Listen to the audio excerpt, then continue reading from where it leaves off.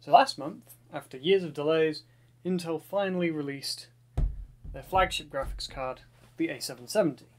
Uh, from the original i7 755 series graphics chips, as well as the uh, cancelled Larrabee project. A lot has changed since the late 90s, which uh, ended us up with this, and we're going to be going over how I've been using this over the last month. Uh, it's actually been in the box for most of it, most of that time. I've been figuring, figuring things out, but uh, yes, Intel Arc. The card comes very well presented in a Founders Edition esque box with uh, nice foil accents and just the, the new Intel logo and everything. Funnily enough, my system is supposedly too old for this card.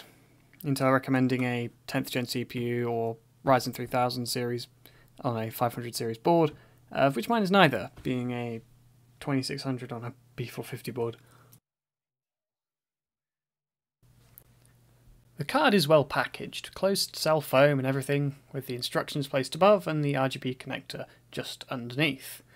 The card itself is very nicely designed, smooth flowing edges and rounding corners, a nice composite backplate, which is a nice thing to see on a budget card like this. Because my motherboard is ancient, a little over 4 years old, that would mean I'd need to update the BIOS to get any way of rebar support, which is an important feature if you want to run ARC. This ended up being a bit of a nightmare, as trying to enable rebar with my 1070 in the system wouldn't post, and all cards before the RTX 30 series just do not support rebar and will not post with it enabled.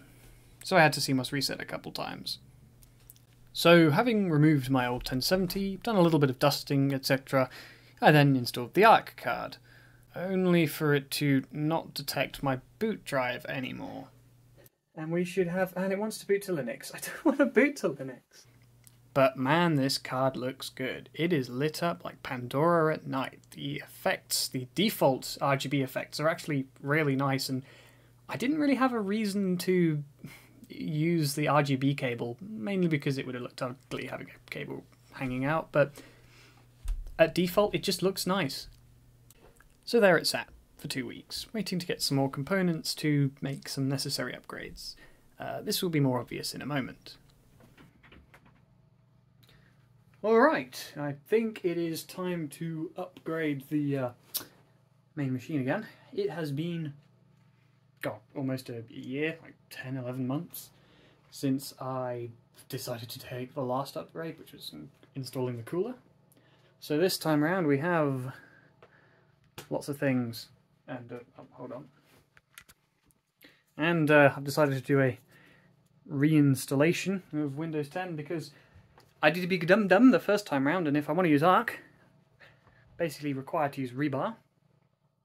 And if you have one rebar enabled, you ought to have some BIOS setting, I can't remember, but it doesn't work with uh, master boot record, which is what I set this up as a few years ago, thinking, oh, I'll be doing stuff with old software and old hardware, which I never did.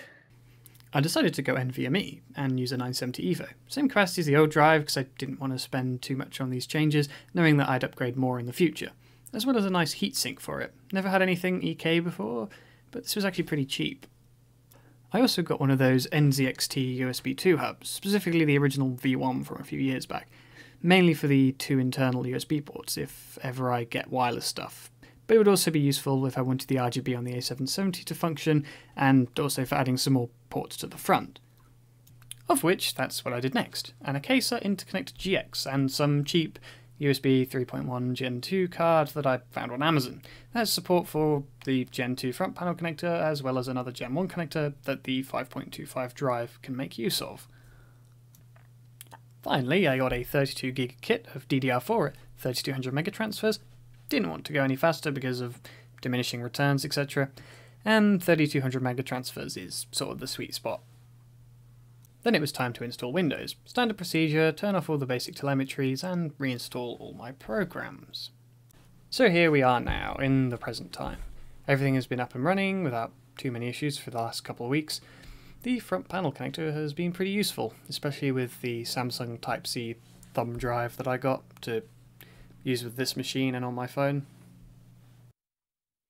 As for the A770, it runs all new games as you'd expect, for performance that is around or just above a 3060. However, going back to older games that rely on DirectX 9, 10, or 11, which the card doesn't have support for, the results are varied, from slight drop in performance to missing or broken textures to straight up crashing or not being able to launch the game. This is the reason for why I vouch for having an older system, something like Burnout here, the, the 2010 gaming PC. As for the performance in generalized benchmarks, in Unigine Heaven we saw a total score of 2743, average frame rate of 108, maximum of 204, and a minimum of 9. In Unigine Superposition, we got a score of 8200, an average FPS of 61, a maximum of 78, and a minimum of 48. Mainly due to the fact that Heaven is DirectX 11 and Superposition is DirectX 12.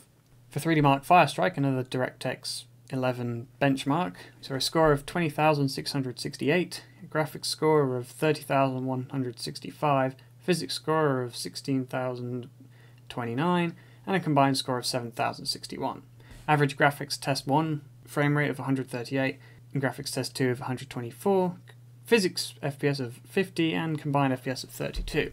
And for TimeSpy, the second DirectX 12 benchmark, saw a score of 10,874, graphics score of 12,900, CPU score of 5755, first graphics benchmark of 82, second graphics benchmark frame rate of 74, and the CPU test frame rate of 19.